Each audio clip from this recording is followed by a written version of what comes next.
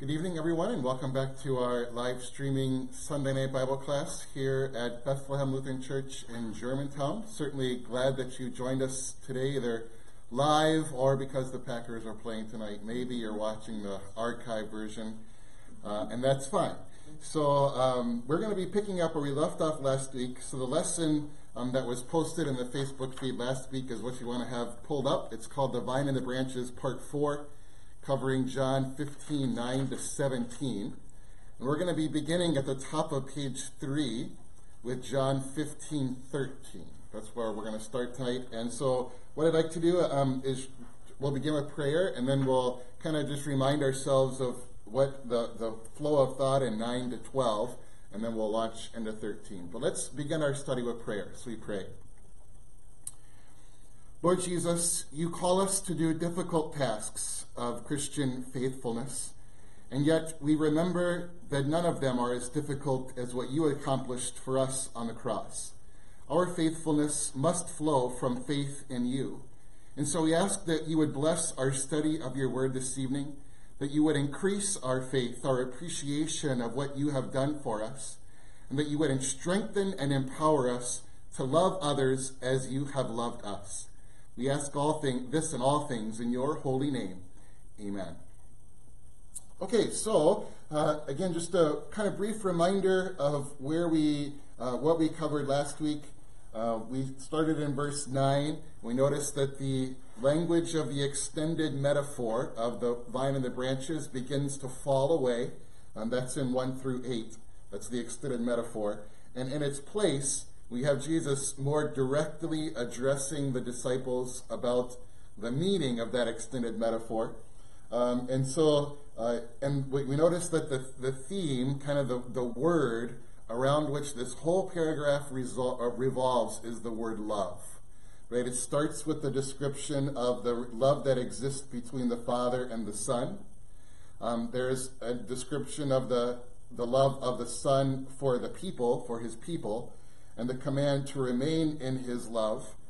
Um, the instruction, the way that we remain in his love is by keeping his commands, and that there's a, a, a correspondence or connection between our keeping Jesus' commands and his keeping of the Father's commands, so that when we follow Christ's command, we are following the pattern that he has set down for us. Uh, we heard in verse 11, we heard Jesus talk about joy, both his joy and ours. So his joy is made complete as we obey his commands, as we live out our faith. That is the reason for which we have been redeemed. Remember, we haven't just been redeemed from things, we've also been redeemed for things, for service. And as Jesus sees us perform that service, his joy as our Savior is brought to its goal. And then we also, our joy is made complete as we actually live out the calling for which we were created to love God and to love others, something that only Christians are able to do.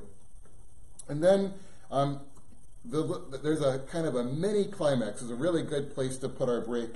Um, verse 12, Jesus summarizes his commands. Remember, throughout this paragraph, um, the way that you express love for Jesus or the way you remain in Jesus' love is by keeping his command. And here is the summary of his command. This is what uh, this is what following Jesus is all about. In a nutshell, is love each other as I have loved you. And the rest of the paragraph is going to be an expansion on that command. Love other or love each other as I have loved you. And so we're going to see it right at the beginning of 13. We're going to see Jesus speak about his love for us because we are called to love others the way that he has loved us. So first we're going to see what he, how he has loved us. And then we'll advance the thought down um, from there. I'll also just say before we keep going, we're going to do a little bit of polemics tonight. Um, polemics is the study of refuting incorrect theology. And we're going to have the opportunity to talk about Calvinism and Arminianism, which are kind of two sides, two different opposites of the theological perspective. And we'll talk a little bit about what they say and why we're using these verses to respond to them as we get there. I just want to tuck that away in the back of your mind. But with that in play, let's go ahead and read verse 13. So remember, verse 12, my command is this love each other as I have loved you.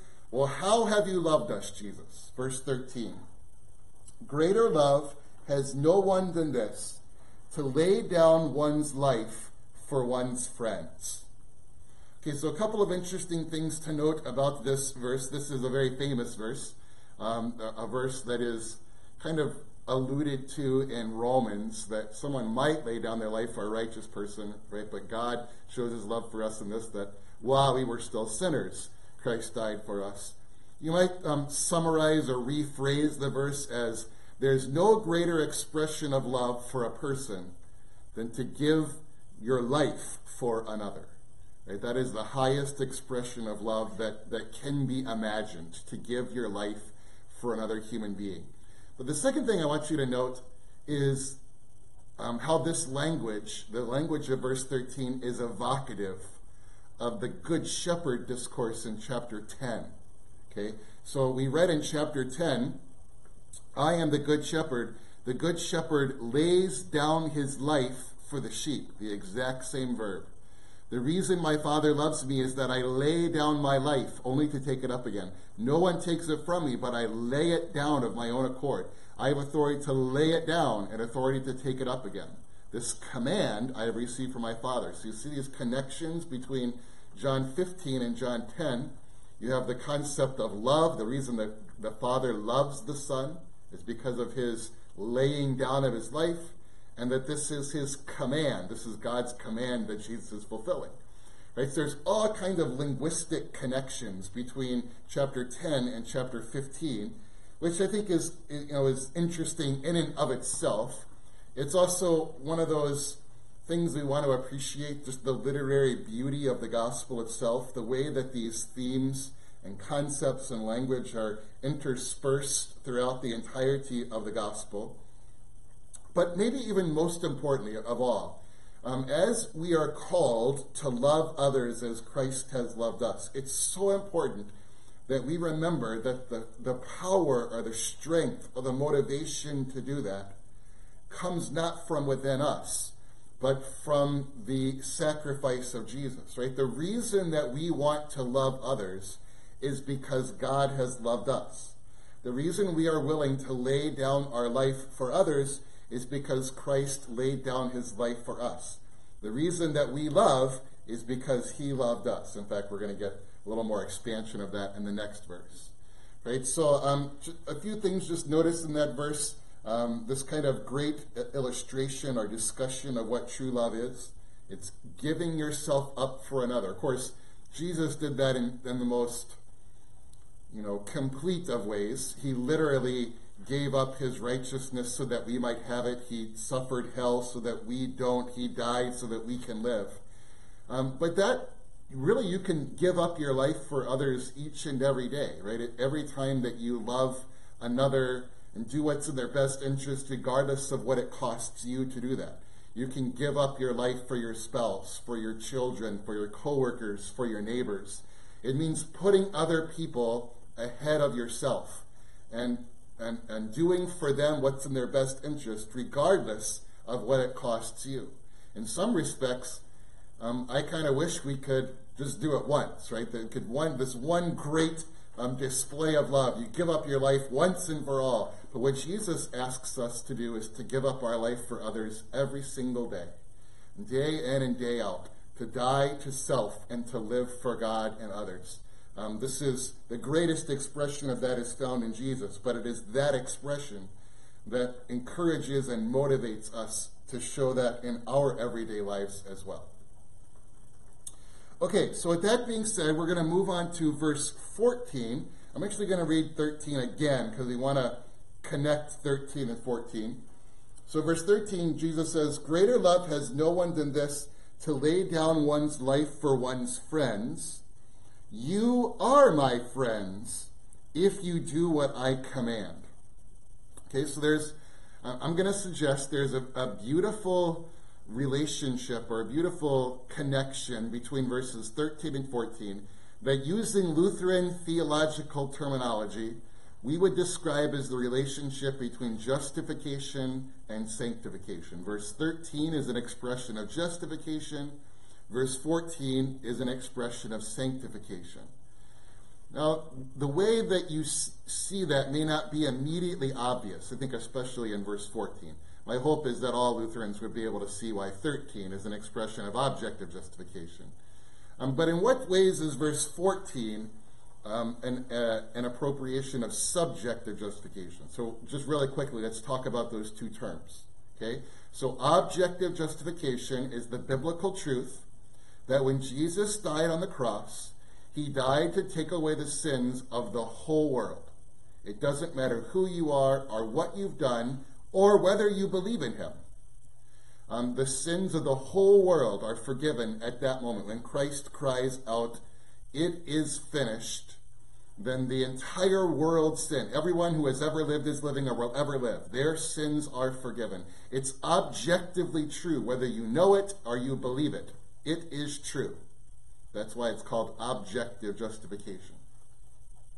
But there's another side of the coin, right? Because while it is true that Christ has died for the sins of all, and all sins are forgiven, it is also true that one only benefits, personally benefits from that objective reality if they believe it through faith.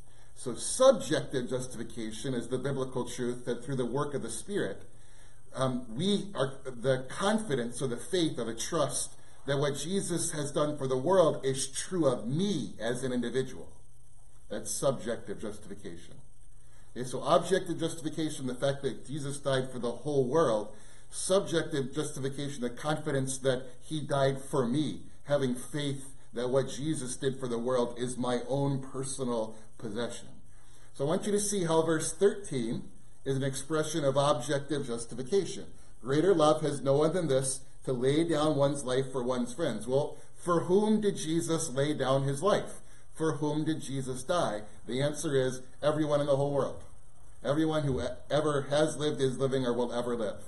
Um, that's um, Jesus giving up his life or laying down his life is an objective reality that applies to all people of all time. But verse 14, Jesus says, how do you become my friend? How do you personally benefit from the work of laying down my life?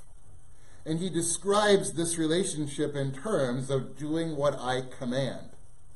Um, so there is a there's a response that is required from believers. There, um, there is a response that, that we give to Christ's sacrifice for us. In this case, the expression of faith that is in commandment keeping that is an expression of our faith, of our um, subjective justification.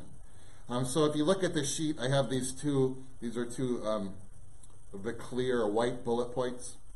Jesus says that he lays down his life for his friends, but of course, Jesus lays down his life for all. So that's objective justification. By being one of Jesus' friends means, means responding to that love and faith, subjective justification. Jesus' work on the cross becomes our own personal possession through faith. So we have uh, in these two verses one of the great themes of John 15, which is that we love Jesus by keeping his commandments, right? The connection between Jesus' love and or love for Jesus and commandment keeping. Now, one of the things that's really important for us to do or to kind of wrestle with is exactly what Jesus is saying in verse 14. Because it's very easy to misunderstand verse 14. If you read it in, in a, I don't want to get too linguistically nerdy on you, but if, if you read it as a certain kind of conditional statement, you're going to read it wrong. You can um, you read it kind of in a Roman Catholic way.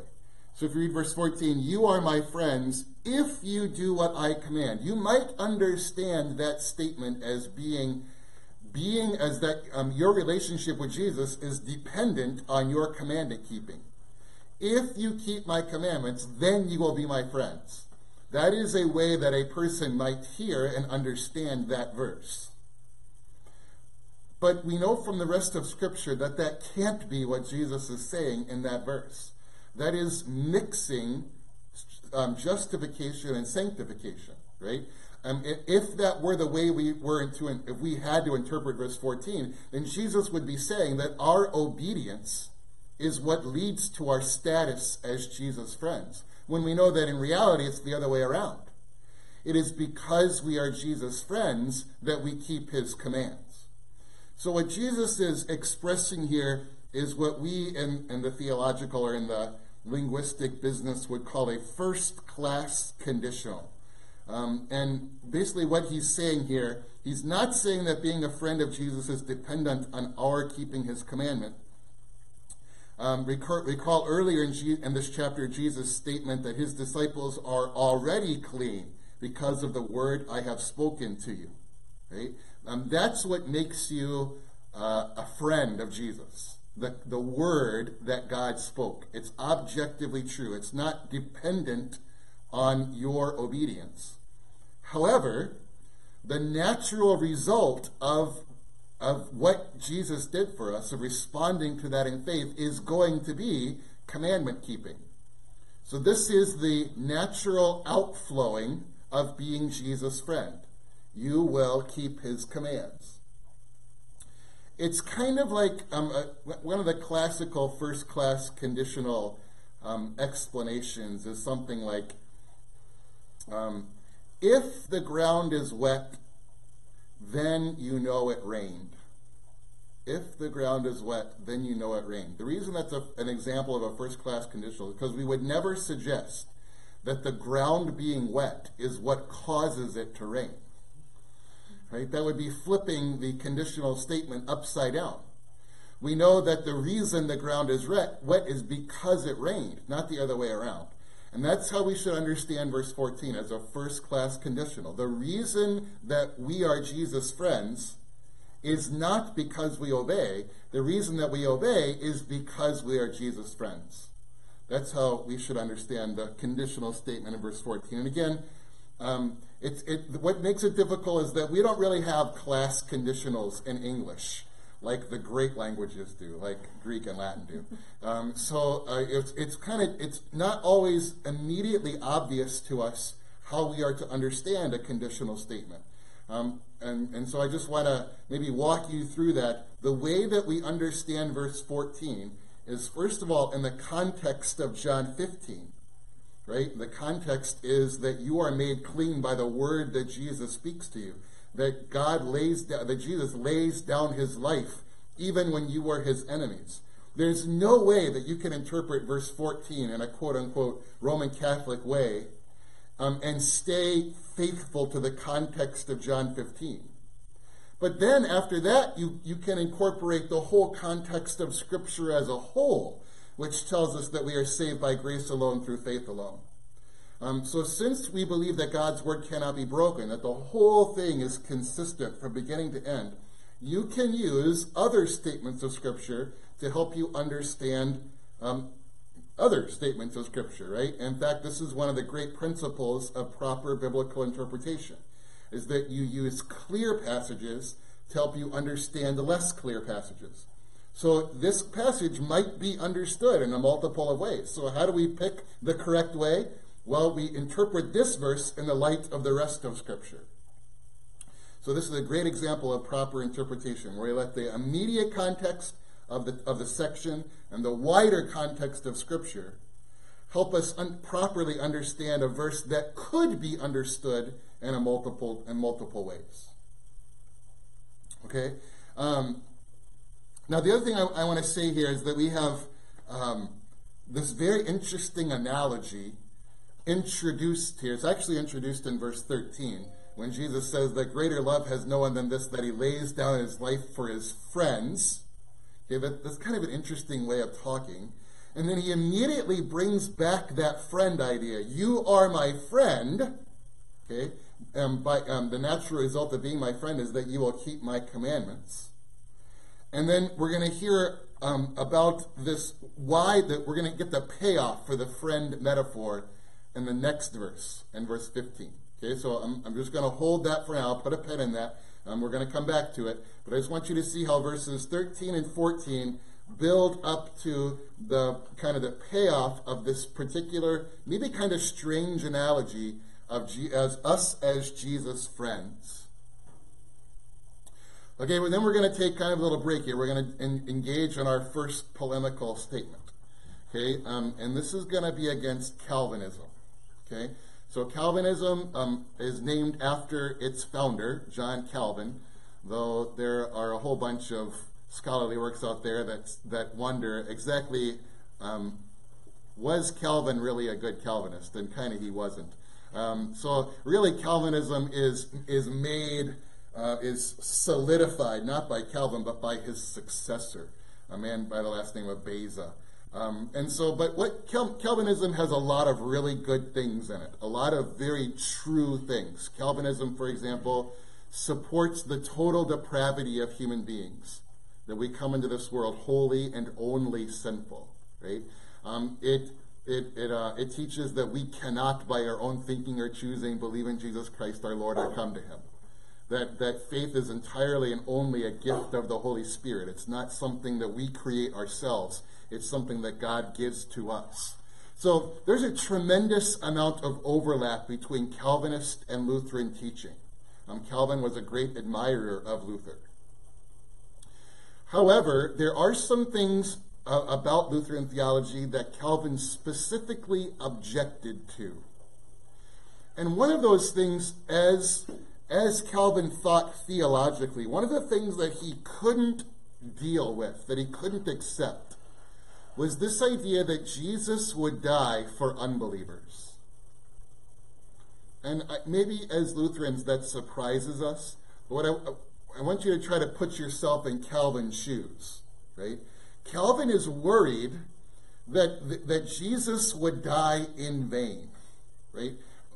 How can we imagine the Son of God dying for people who are going to reject him, right?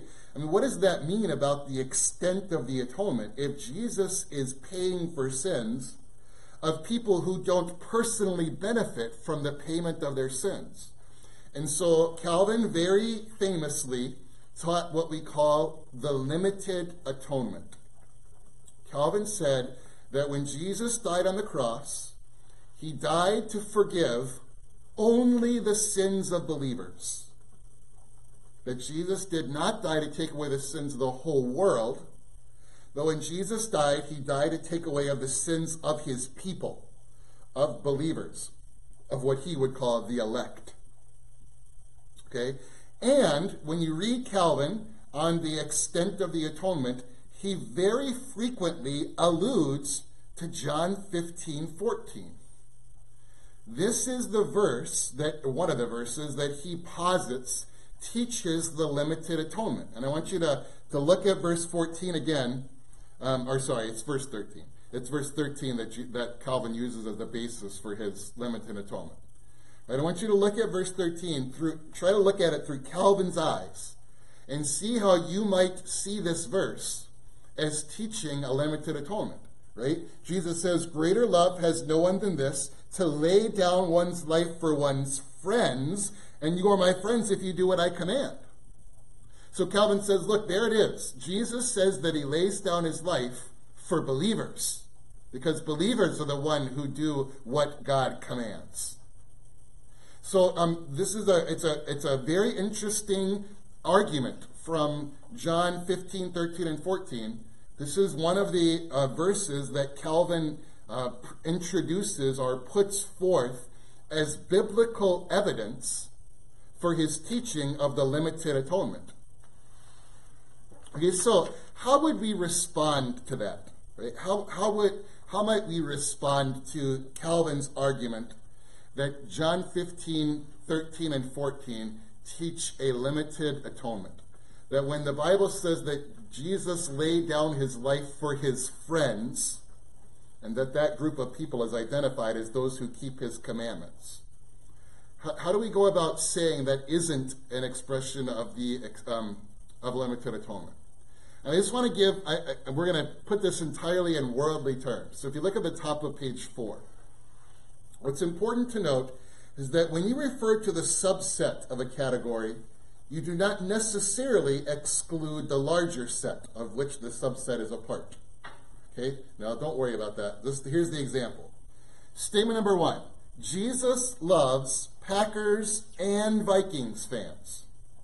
Okay? Now, you might not think that's true, but it is. Biblically true. Jesus loves both Packers and Vikings fans. That is a biblical truth that can be supported by any number of biblical passages. Now, let's just say that in a different context, I made this statement Jesus loves Packers fans. Statement two is true without making statement one false. Both of the statements are true. It's just that the first statement covers more than the second statement does. Okay? Now, what, so this is how I respond to Calvin. I say, yeah, there are passages that speak about Jesus dying to take away the sins of his people. That's the subgroup. But there are also passages that describe Jesus taking away the sins of the whole world. That's the larger group. The fact that there are some passages that talk about Jesus taking away the sins of his people in no way invalidates all the passages that says that he dies for the sins of the whole world. In fact, you might say something like the reason the Bible can say that Jesus dies for the sins of his people is because the Bible says that he dies for the sins of the whole world. Right? So um, this this argument, this idea that this passage, and there are a couple of others that Calvin would cite, limits the atonement to one smaller group of people, that is, uh, believers, is an in, it's an illogical argument, or it's a it's a it's an it's an argument that doesn't hold, um, because it fails to recognize that those passages which speak of Jesus dying for believers are really a subset of a set of passages that talk about Jesus dying for the whole world. Right? So I just kind of the the big takeaway, the last or the fourth black dot that's almost all the way halfway through. Um, in the same way, saying that Jesus laid down his life for his friends is true, without in any way limiting the extent of other statements which speak of Jesus' love for the whole world. Right? I don't have it up, so have tell me the question. Heidi says Calvin's idea on limited atonement gets really complicated when you add on the doctrine of election. Yeah, so Heidi's comment is uh, when you get when you when you start talking about the limited atonement, which is is one of the great um, pillars of Calvinism, then you get the doctrine of election, which is another great pillar of Calvinism, right? That God chooses already in eternity those who would be saved and those who would be damned. That's the Roman. That's the um, Calvinist teaching, right? Now we too believe in a doctrine of election but we, our doctrine of election says that God only chose in eternity those who would be saved. The Bible speaks, and nowhere does it speak about an election to damnation. It speaks about an election to salvation, but in no place does it speak about an election to damnation. Again, Calvin didn't think that Lutherans went far enough.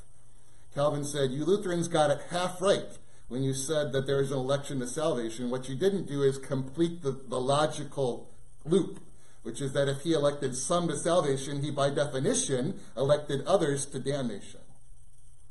Um, and then the reason this kind of gets hairy, it gets, it gets troubling, is that if, if God elected some to be saved, and Jesus only died for those who are saved, then those whom God elected to be damned never had a chance. Right? There, there, there never was salvation available to them. And from our perspective, that, that gets you into some difficult situations, right? Like, what about the passage in 1 Timothy that says that God wants all people to be saved? What do you do with that passage? If Calvinist teaching is true, that God doesn't want all people to be saved, that he elected some to damnation, and that he didn't provide salvation for them because the, the extent of the atonement is limited to believers, how can you say that God wants all people to be saved? Or how do you deal with a statement like in 1 John 2, where John says that Jesus Christ is the atoning sacrifice for our sins? Okay, our is referring to believers. He is the atoning sacrifice for our sins, and not only for ours, but also for the sins of the whole world. Where Jesus actually, uh, where John actually contrasts believers versus non believers, but he says that Jesus died for both. Right? That Jesus is the atoning sacrifice for both our sins and the sins of the whole world. So um, Calvinism, the, the, Calvinist statement on election, and really even the Calvinist t- statement on um, the, the extent of the atonement, is logical. It's logical. The problem is that it's not biblical. Okay? The biblical teaching is illogical. But we believe the biblical teaching because it's the biblical teaching. I'm not going to believe something that's logical if it goes against biblical teaching, even if it's logical. Right? There's a, there's a point at which my logic has to say, I give up. How can God be three distinct persons and one divine essence? How can three equal one? I haven't got a clue. My reason cannot grasp the doctrine of the Trinity. My reason can only go so far, and then I just my reason says, that's it, I give up, I'm done. I'm going to believe this because God's word says it, not because I can figure it out.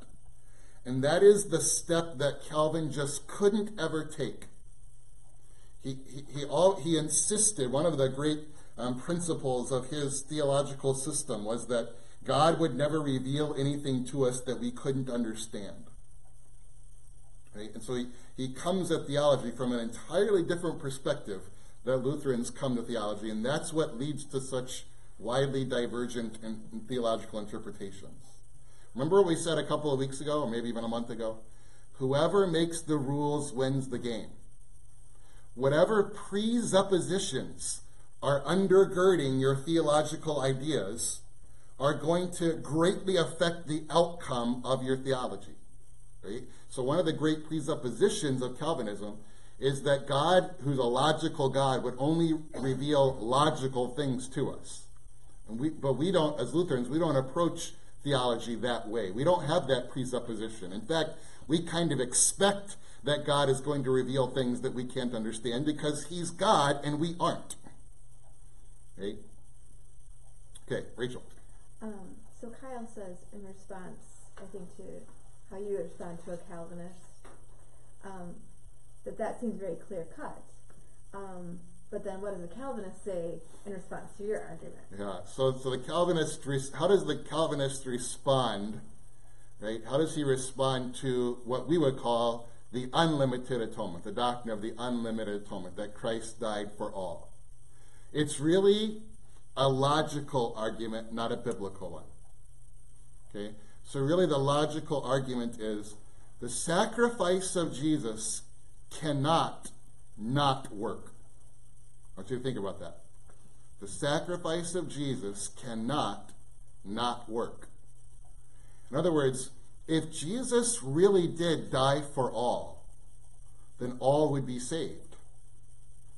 But obviously, not all are saved. Nobody talks about those who are going to be condemned on the pages of Scripture more than Jesus does. Right? And so, um, the, what the Calvinist is trying to, the doctrine of limited atonement is the Calvinist trying to cut off universalism. The idea that Jesus died for all and so everybody's saved. What the Calvinist doesn't appreciate is the doctrine of objective justification. They focus so much on subjective justification that they deny objective justification. Now, a little later in this section, we're going to talk about Arminians who do the exact opposite.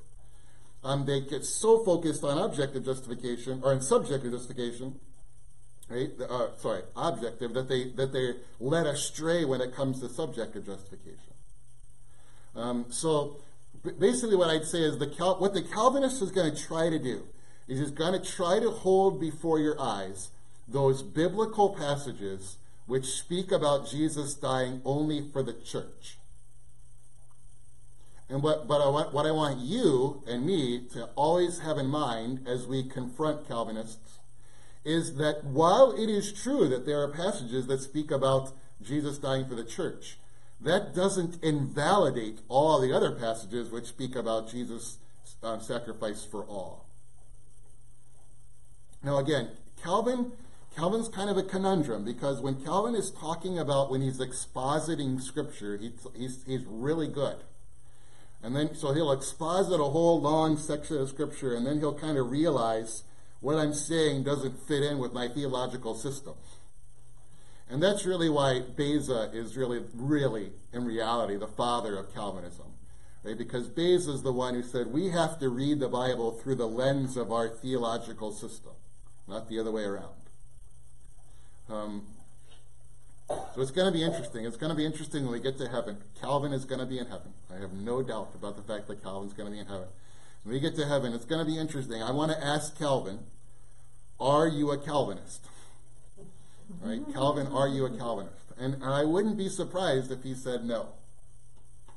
Um, but yeah, that's that's a whole other thing that we could talk about.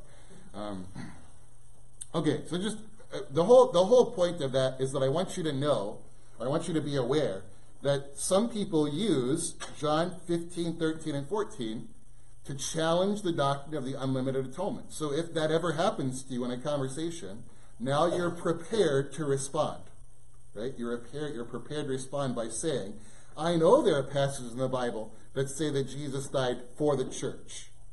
But that doesn't invalidate all the other passages that say that he died for the world. In fact, the reason we can say he died for the church is because he died for the world. Okay? So that's, that's what polemics is. It's identifying a false teaching um, and kind of trying to put yourself in their place, right? Trying to, what, what would lead them to say this? In other words, we always want to put the best construction on our words, on our neighbors' words and actions, even false teachers.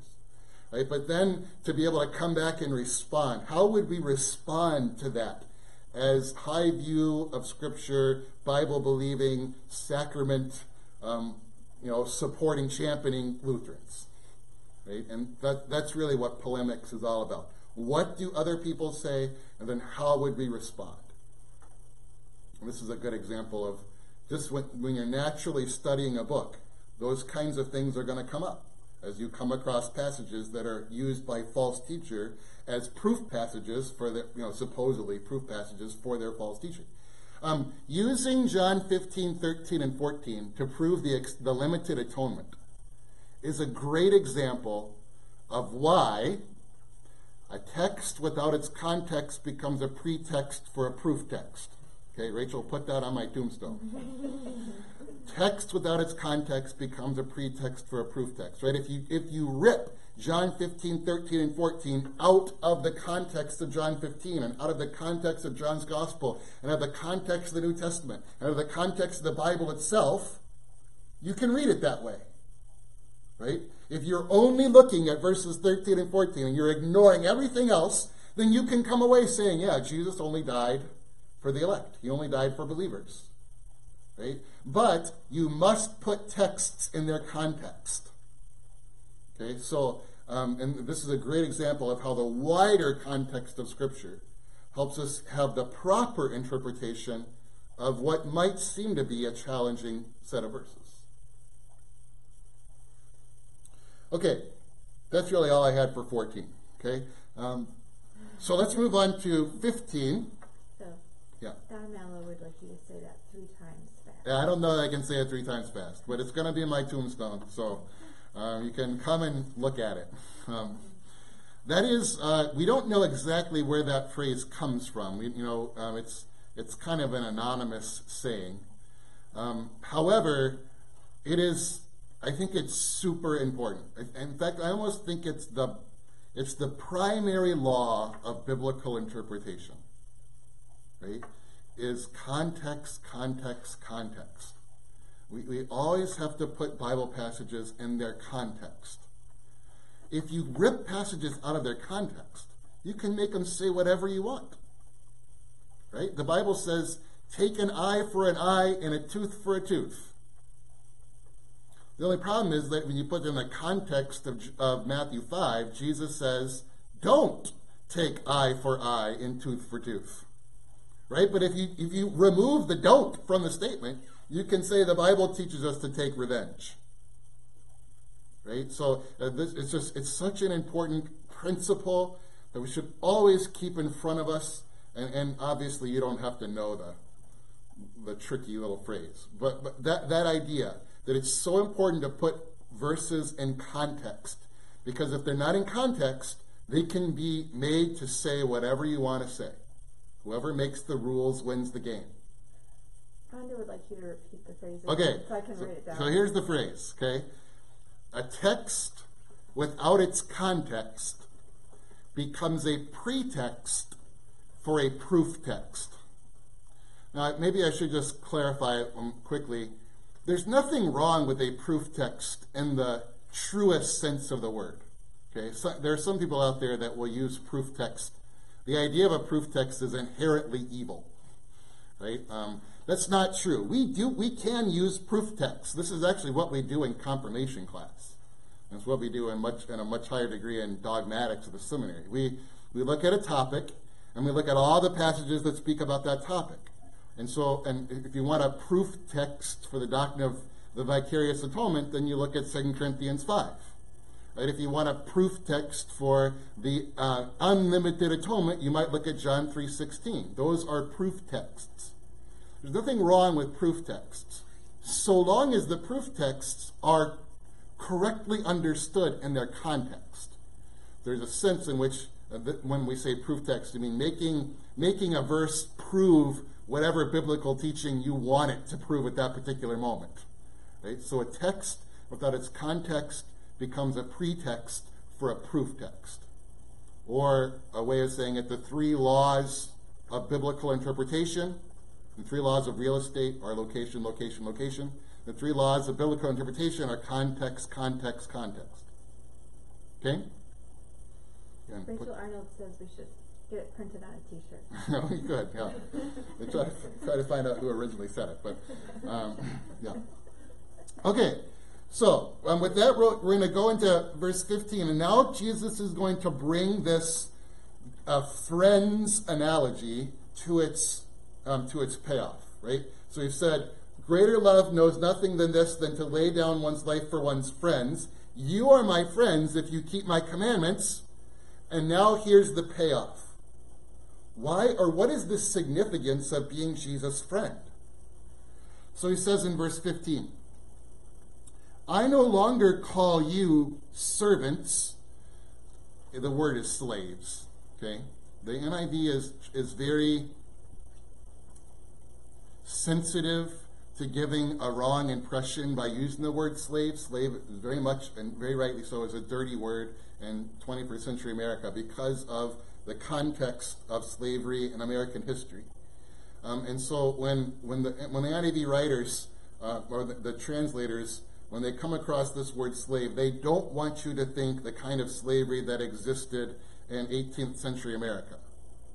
However, remember that slavery is a very important concept in the first century world.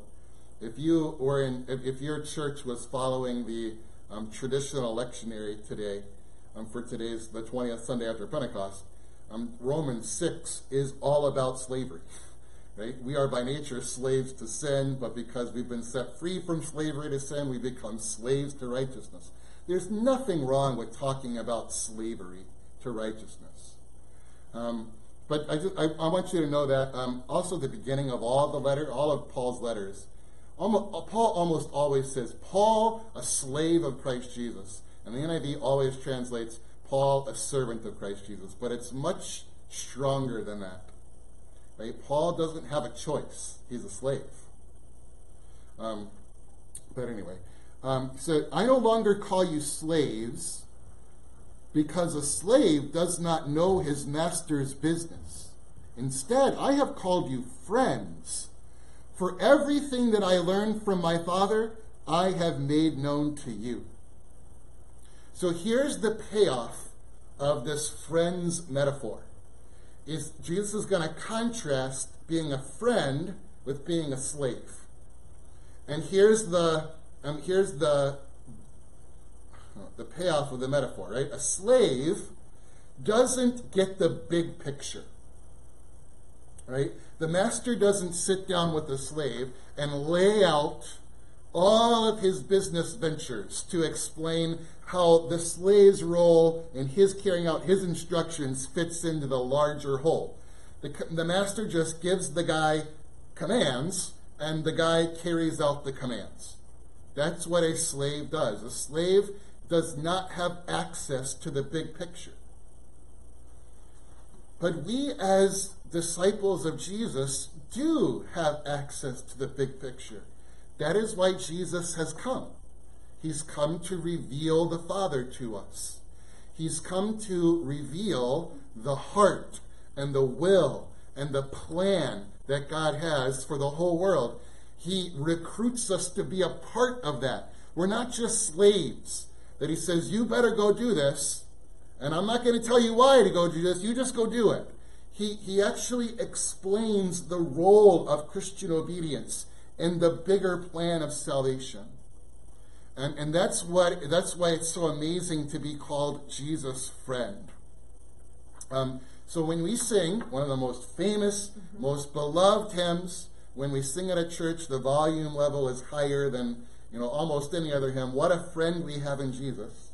Okay, what a friend we have in Jesus is based on John 15, 15. That we are Jesus' friends. Our friend is Jesus is a friend to us. Um, there are other some other beautiful passages, right? Um, and the, the, the writer of the Hebrews um, usually calls us Jesus' brothers and sisters. We're members of the same family. That's a completely different analogy, a completely different metaphor. Right? But not only are we members of his family, in other words, you don't get to pick your family, you do get to pick your friends, right? Jesus picked us to be his friends. He wasn't stuck with us as brothers and sisters. He picked us to be his friends. He chose us. And that is exactly where the next verse goes.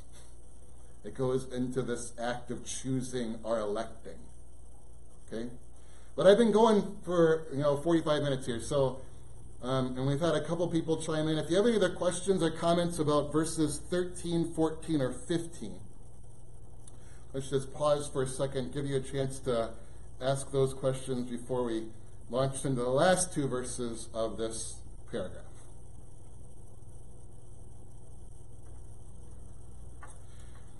Okay, nothing is coming in, but uh, if you're typing something, please feel free to complete it and send it, and then we'll circle back to it. Okay, but remember verse 15, we have this analogy or this metaphor of being friends of Jesus. We want to think this idea you choose your friends, you pick your friends. Jesus chose us, He picked us. And that's the thought that is going to be advanced in verse 17. Or sorry, verse 16. So um, this is John 15, 16. You did not choose me, but I chose you and appointed you so that you might go and bear fruit, fruit that will last, and so that whatever you ask in my name, the Father will give you. I know we have some um, uh, this is just a beautiful example of Jesus pulling ideas from earlier in the discourse back to our attention. So we have things like um, bearing fruit. Remember, that's that's imagery from the extended metaphor. I am the branches, or I am the vine. You are the branches. If you bear, you must remain in me to bear fruit. Right? Um, we have this idea of our fruit being the response to prayer. Whatever you ask in, the, in my name, the Father will grant you. Right? So we have um, we have some some other language from earlier in the discussion bringing brought in, but now it gets advanced one step further to this idea of choosing. You did not choose me, but I chose you.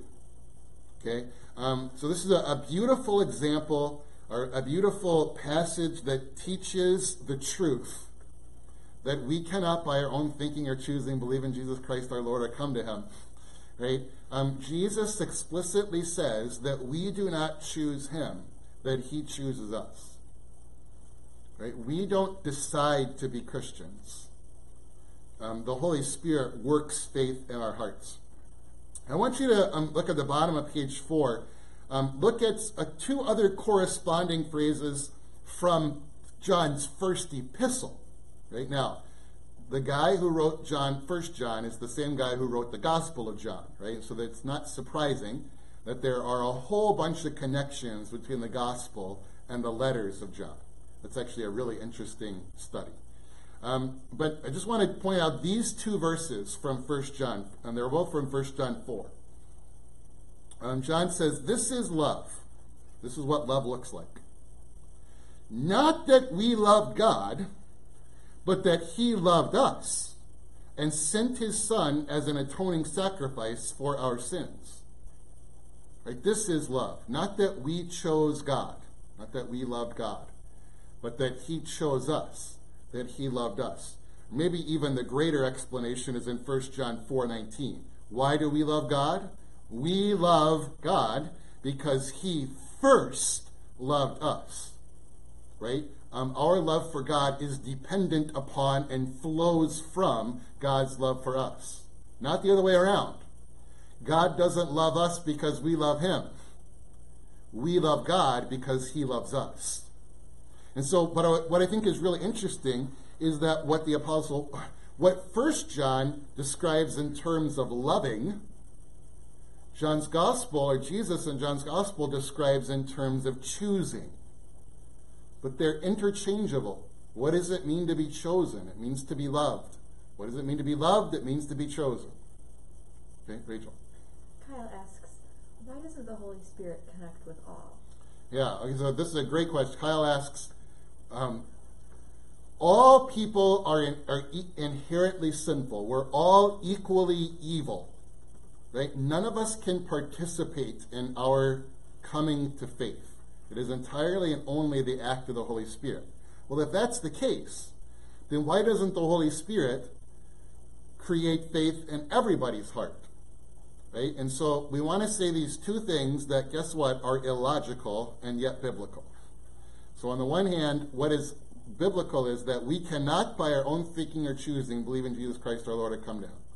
That if you are a believer, it is only and entirely because of the work of the Holy Spirit. That is a biblically true thing. On the other hand, there are passages that make it clear that you can reject the work of the Holy Spirit. You can resist. You can prevent Him from creating faith in your heart. You can't cause Him to create faith, but you can prevent Him from creating faith. If you're a believer, it is entirely and only the work of God. And if you are an unbeliever, it is entirely, entirely and only your own fault. God gets all the credit for believers, and the sinner, the unbeliever, gets all the blame for being an unbeliever. Now, a Calvinist, both a Calvinist and Arminian, are jumping up in their seats right now, and they're saying that's not logical, right? Um, to which we'd say, I know it's not logical, but it's biblical. And that's why I believe it. Not because it's logical, but because it's biblical. In other words, another way of answering your question, Kyle, would be to say the Spirit wants to create faith in all. Uh, however, he doesn't create faith in, in the hearts of those who reject him. What we don't want to do, though, is turn that statement around and pat ourselves on the back and say, well, the reason the Holy Spirit created faith in my heart is because I didn't reject them. What a great guy I am. Right? That's what the other biblical truth is trying to prevent. So you hold on to both of those truths that if we're saved, it's entirely God's doing, and if we're lost, it's entirely our own fault. And you won't let you don't let go of either truth. You hold on to them both, even though there's tension between them. Okay, um, have five more minutes. Let's uh, let's just introduce um, the way that John 15, 16 is abused. Okay, um, and now we're going to talk about Arminians. Okay, Arminian. Uh, um, so we have Lutherans are the theological descendants of Martin Luther. Calvinists are the theological descendants of John Calvin, and Arminians are the theological descendants of, I think it's John Arminius. Um, I'd have to go back and look at his first name. But his last name is Arminius. That's where they get the, the, the contact Arminian, Arminianism from. And what, uh, Jacob, Jacob Arminius. What Jacob Arminius um, believed, he looked at what Calvin taught, and he said, everything Calvin believed is wrong. He is the anti Calvin. Okay? If Calvin says up, Arminius says down. And if Calvin says left, then Arminius says right. Okay? He's the anti Calvin. So Calvin said that um, the, the, the extent of the atonement is limited, that Jesus only died for believers.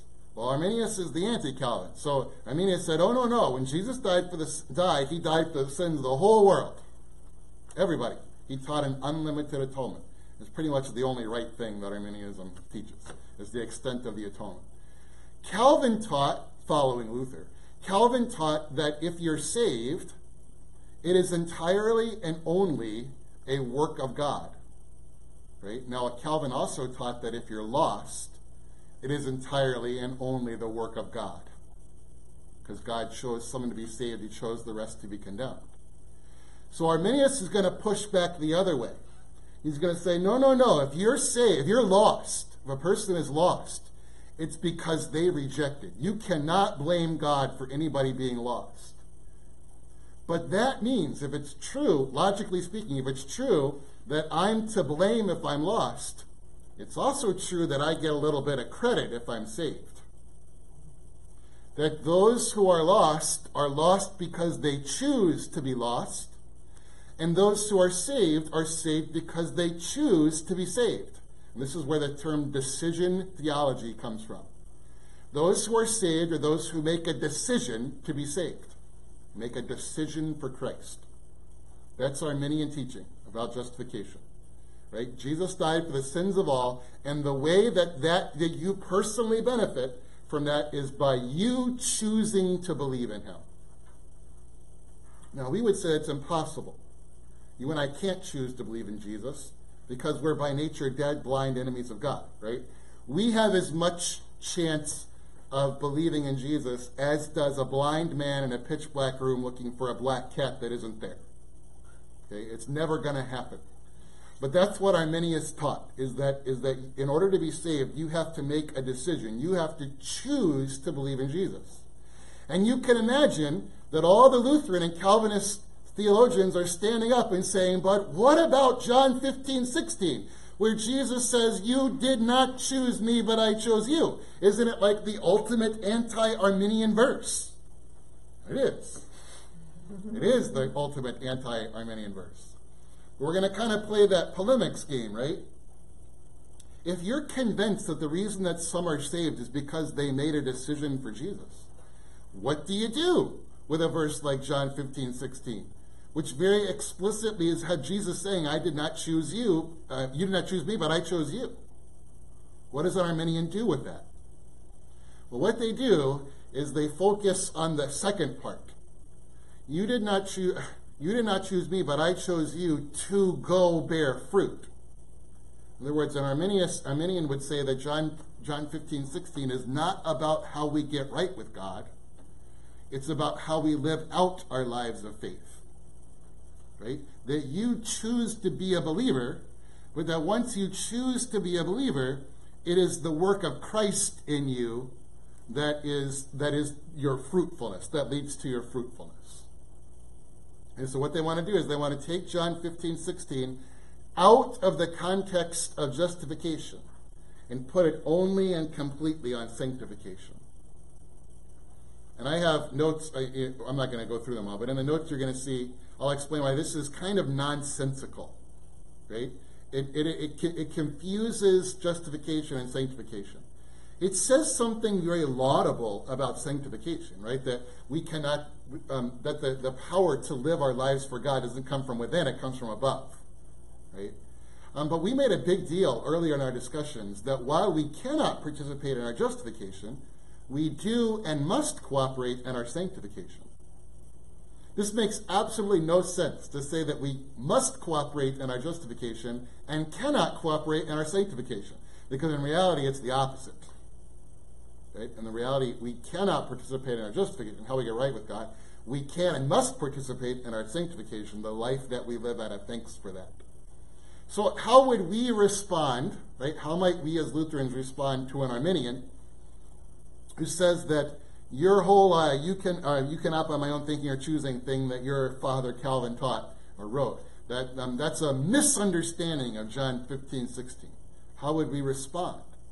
Well, we would say your understanding of John 15, 16 incorrectly confuses justification and sanctification, which at its heart, which um, is really a symptom of a greater problem. It confuses law and gospel. It confuses law and gospel. The law tells us it is impossible for us to save ourselves. The gospel tells us that God has saved us in spite of ourselves. The law tells us as Christians, this is how I want you to live. This is how you are to seek, so you are to try to live a life that is pleasing to me. Um, and, and, as, and so we can and must follow that. We must participate in that. So what Arminians do with this particular passage is they flip it. They, they, they mix justification and sanctification. Rachel. Brenda asks, who are the Arminians of today? So, um, so Brenda's question, who are the Arminians of today? Yeah, you're not going to really get anybody that ever puts that on their church board, like Bethlehem Arminian Church. You know, that, you're not going to see that. Um, but Arminianism is the dominant, at least when it comes to justification, how we get right with God, is the dominant uh, American Christian idea of how we get right with God. It is the official statement of the Southern Baptist Convention, which is the largest non Catholic organization in America. So most Baptists believe in making a decision for Jesus. Most Methodists, most Church of Christ, um, most I can kind of think of anything that isn't Catholic or Calvin or Lutheran, you can put in that other group. Billy Graham. Billy Graham is a great example. His whole ministry was aimed at leading people to make a decision for Jesus. Now, what's really dangerous is that Billy Graham mixed Arminianism in justification with Calvinism and preservation. So he believed that it was his job to get people to make a decision for Jesus, and that once they'd made a decision for Jesus, they could never lose their faith. So that he went into a stadium, and he, he's a powerful preacher, powerfully preached about how important it was for people to make a decision for Jesus, and then he left because he didn't think it was important for him to stay around and help keep people in the faith. This is why our pastors are pastors and not only evangelists, right? And the, the Great Commission has two parts go and make disciples by baptizing, and then go and keep disciples by teaching. The church has to do both. Um, so, yeah, Billy Graham is maybe a, a, is a perfect example of somebody whose whole ministry was based on the idea that it is our job to make somebody make a decision for Jesus. You want to manipulate their emotions so that they make a decision for Jesus. As Lutherans, we've always resisted having our worship manipulate emotions. Doesn't mean that Lutheran worship can't appeal to emotions. In fact, I think it should. I think that sometimes Lutheran worship practices have gone too far the other way, right? Where we've, we've considered appealing to the emotions to being wrong. That's not the case, right? But when your worship is designed to manipulate emotions, that is wrong. Okay, so we have all kinds of ways, trails off of there. Um, but uh, so I just want to. This is an interesting section of scripture because it provi- it's a proof text that's used both for Calvinism and for Arminianism. We want to be able to respond to both. All right, verse 17 is really just a summary verse of everything we've read in chapter 15 so far. Right? This is my command. So, in summary, this is my command love each other. And that's going to be the launching point for the rest of the upper room discourse. And what you'll notice if you still have your Bible open and you look at verse 18, the next concept that is going to be introduced is the concept of hate, the opposite of love. Okay? So that's where we're going to go. Next week, we're going to start in John 15, 18. Um, and our goal will, will be to finish chapter 15, or maybe get as close as we can to chapter 15, and talk about how this, this love theme that is laid out in 9 through 17 continues to be advanced um, in the upper room discourse.